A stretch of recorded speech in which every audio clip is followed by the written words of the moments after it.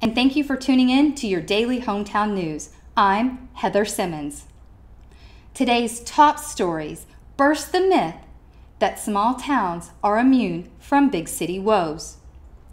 In the hours before dawn on Thursday, Palestine police officers responded to an alarm at the Trinity Valley Teachers Credit Union located on Loop 256.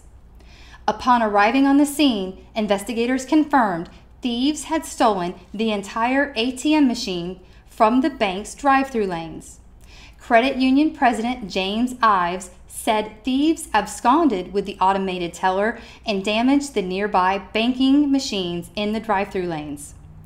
The crime is still under investigation, and police encourage citizens to report any information to the Palestine Police Department at 903 729 2254 or text any tips to 847 411.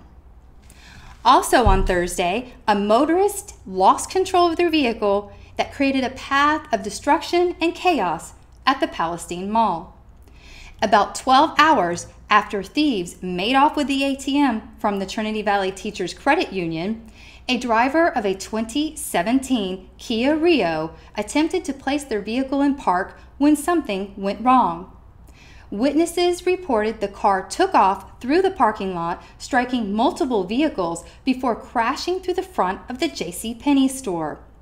Police and EMS arrived on scene at 4:35 and the driver was transported to the Palestine Regional Medical Center with minor injuries.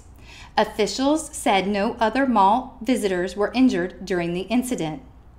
An investigation is ongoing. However, police have said that alcohol is not a factor in the crash. Well, that wraps up your daily hometown news.